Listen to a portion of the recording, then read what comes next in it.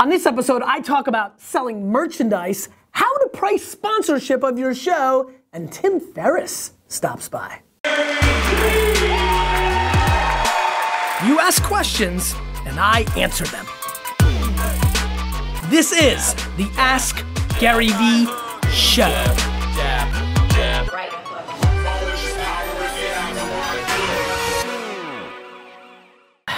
People are mourning for the beard.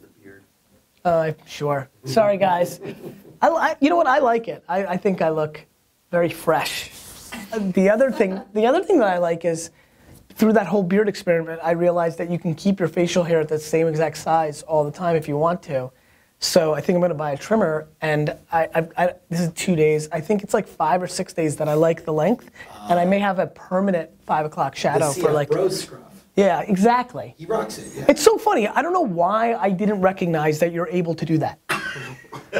I literally just thought people's facial hair just stopped and mine just kept going. and others just kept going, but like it was it's really like a very basic thing that I just didn't understand happened in the world. Yeah, anyway, that's quite sad. 91? Everybody, this is Gary Vaynerchuk, and you're watching episode 91 of the Ask Gary Vee show. You may also be listening to it. Little rusty from not doing a show for six or seven days, so I said watched instead of this is. 91, a tremendous number. Uh, number of my favorite New York Jet, Sheldon Richardson. Uh, the NFL draft is on Thursday. I'm, I'm, I'm filming, recording this on a Tuesday. So if you're watching it right now or tonight or tomorrow, uh, I want you to know that I am going to Chicago for the NFL draft, and I fully intend to uh, be the face of the New York Jets pick. Because I don't expect as many Jet fans in Chicago as normally in New York, I will be cozying up to the cameramen, both on the NFL Network and ESPN.com. And I'm very confident that the Jets will select XYZ player, they will pan to fans, and it will be me and AJ saying yay or boo. So I'm excited for that. Look for that. Let's get in to the show, India. Aaron asks, Actually, before we get into the show, I missed not doing the show for six or seven days. Miss everybody. Big ups to everyone on Meerkat. Uh, and now, India, let's get into the show. Aaron asks, Wait, I'm just kidding. Go ahead, go ahead. Aaron asks, everyone visiting my site will be there for custom music. Should I delay them with content?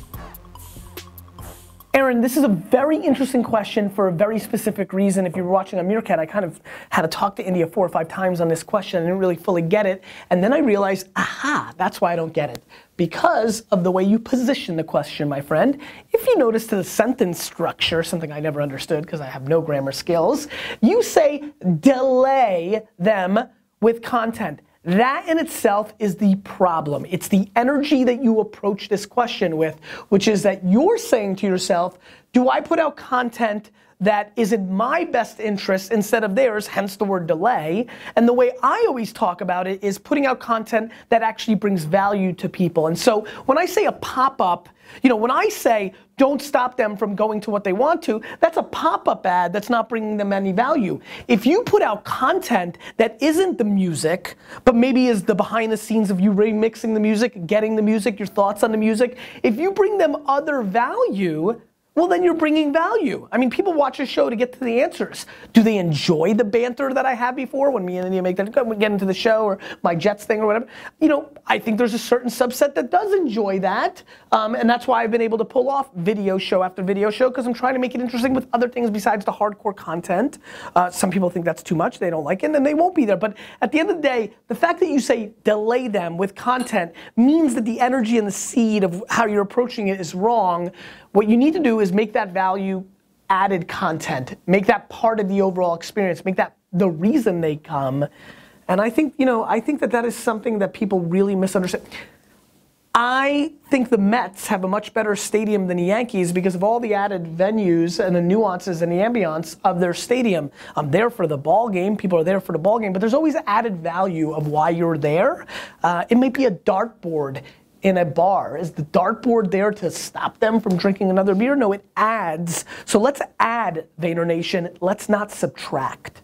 It's interesting the way he asked it. Yeah, it is. It's like he's already against it. He's already against it. It's already not for them. It needs to be for them. Zach. Hey Gary, Christoph here with ScaleYourCode.com. How would you price sponsorships for an episode of a show like Ask Gary Vee? Would you go by the number of views, by the number of sales they get? What do you think? Thanks, Gary. Yes. I think that there's a very simple answer to this. My big belief when you're selling sponsorship to something new is you ask for as much as possible. I'm not kidding. You don't know what your ceiling is. If you go by CPMs and views, um, you're really in a tough spot because views and, and impressions have been commoditized to such a level that you'll never hit enough scale.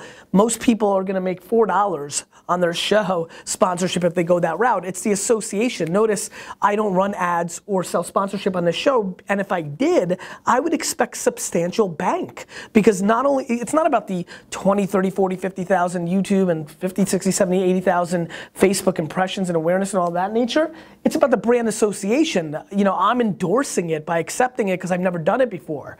And so there's an extra value on that. And so I think the thing that you really need to think about is, is if it's a small business startup, you need to negotiate. There needs to be just a price and you start high. If it's a media buying agency, you're already in trouble because they're looking to buy scale and they're really looking to commoditize your traffic. And that is not gonna make sense for 99.9% of the people listening and watching this show. And so my advice is to uh, price it. And then, and then the second part of your question about the conversion of sales, you don't wanna be in direct response conversion based business either. What you wanna be is in the brand association pricing, right? You know, there, you can't put a price on a small um, business oriented solution being a sponsor of this show because they're getting to entrepreneurs and executives through this channel and there's more depth and width. And so um, I would price it as high as humanly possible and let it land to where the market actually says. I think one of the big mistakes that a lot of my friends who watch this show and a lot of people that negotiate in general, they don't uh, price accordingly because they ask for what they want. And usually you should at least double or triple what you want to leave room for the negotiation or by not, you know, a lot of times you're limiting your upside by not recognizing that you've missed or underpriced your value prop. Bunch of deckheads wants to know if you're selling merch like t-shirts, how would you go about doing it? Well, deckheads, I mean, I this is a very good question. I like this question. Um, I don't want to beat a dead horse, but I would say Facebook Dark Posts is incredibly interesting. The targeting capabilities of what's going on in that platform are incredible. I think Pinterest and promoted pins is another place that I would spend a ton of my time and energy.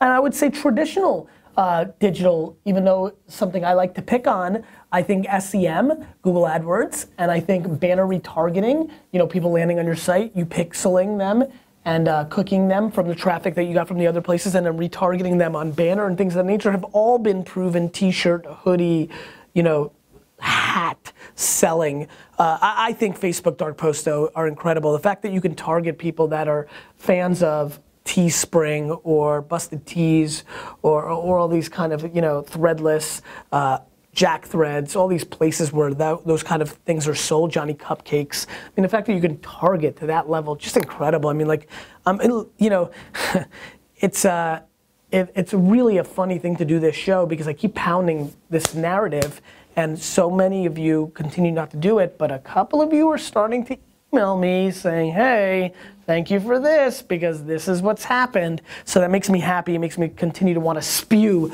the best advice possible. And to me, 50% of my money would be allocated to Facebook dark posts, with the other 50% allocated to things I just told you about. By the way, Stefan, this whole episode, I don't, you know, I haven't, you know, I don't watch my stuff. I don't know what you guys have been doing from an editing standpoint, but even this part right now, in color when it's the show, in black and white when it's not. The part where I yelled Zach, I like that part. This right now, got it? Our talking, got it? We've been doing it? I, people like it, right? I like it. Uh, on that note, yes. on that note, let's go right into it. Guys, Indy and I continue to want to bang out articles.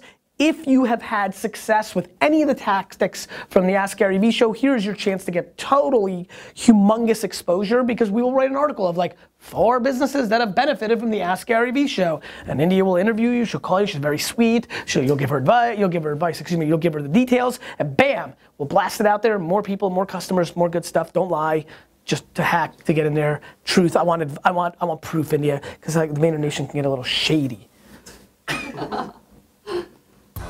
Edward wants to know What's the biggest way right now you are hypocritical of your own advice? Edward, this is a really, really, really good question. This, Edward, this may be my favorite question. Uh, you know what, Edward, you've also solved something else for me that is tremendous, which is people always ask me, what's the, you know this, Steve, what's the one question nobody ever asks you that should ask you? I think this is really it. Edward, it's a moving target.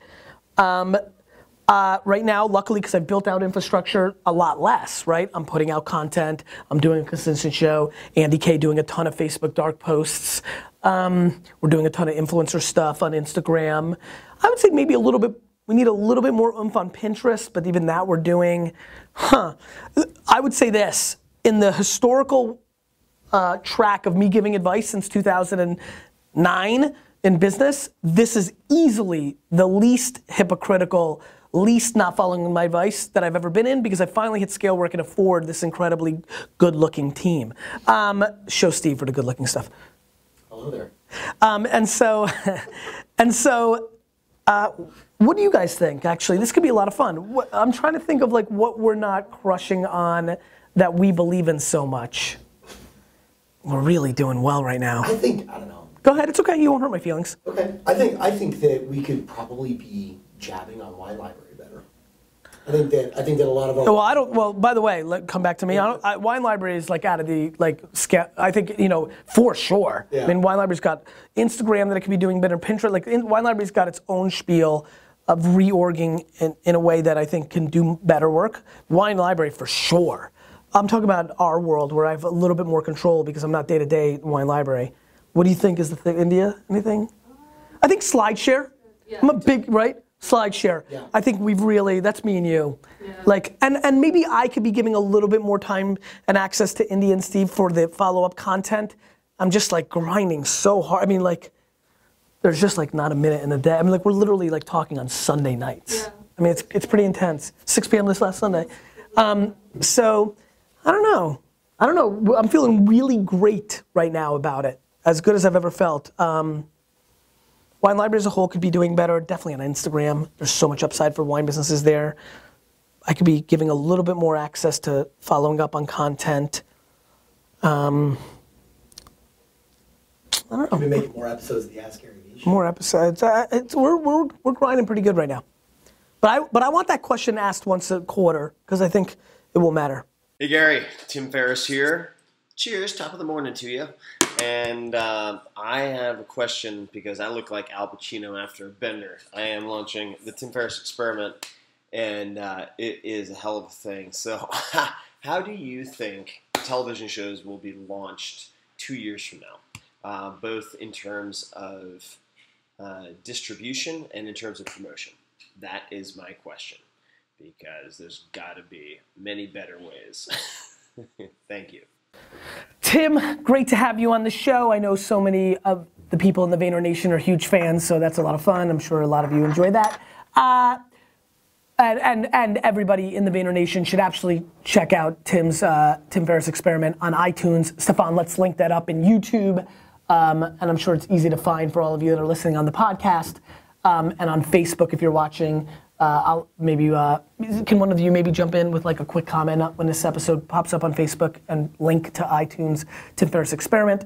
Timmy, I think that um, a couple things will happen. One, I think there's gonna be a crap load more over the top services, right? So you've got Netflix, but I think you've got Vimeo starting to make some noise. I expect a lot of traditional, old school digital leaders to get in this game. I, Microsoft's going to have to be in this game. Yahoo's going to have to be in this game.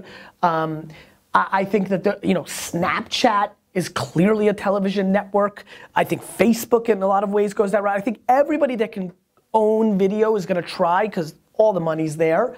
I think launching it will happen in the way that you're doing it now, right? You're asking this question in a micro community where I'm now giving exposure to it. And so the days of going to the Today Show or running commercials on a big show or trying to get print or radio like campaigns going, there's now all these fragmented societies and, and niches. Facebook dark posts, well, you know, you know, making infographics for Pinterest, getting a ton of Instagrams, uh, influencers, having me on my show. I'm sure you're probably hitting the podcast circuit tremendously hard. You're probably going to show up on 15 podcasts over the next week or two, um, which is something you wouldn't have done 24 months ago. And there'll be five to seven other things that none of us know has the attention of the consumer. Maybe an app that comes out on the watch, right? There's so much coming.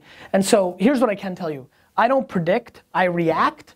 Um, but I do know this: in 24 months, there'll be some new stuff. Stuff. I almost said shit, and then stuff. Shit and stuff means stuff. That's how it comes out of my mouth. Question of the day. What is a good question today? Ah, I'm gonna go very football on you. What is your favorite football team? Who do you want your team to take? One of you lucky Vayniacs will get an opportunity of me buying a jersey of your favorite team's actual pick if you predict it properly in the comments section of YouTube. That's right. And you know what? And Facebook. So, what's your favorite football team? And who do you want them to select? If you're right, you may get that person's jersey as a surprise by me. You keep asking questions, I'll keep answering them. Hey, Chris Rock. yeah, there it is. There's a chat. Hey, Chris. So cool. Gary Vee's the man. Chris Rock, Meerkat. You missed the holy shit, Chris Rock. Gary, Chris, oh wow. Yeah, it's Chris Rock. Jab.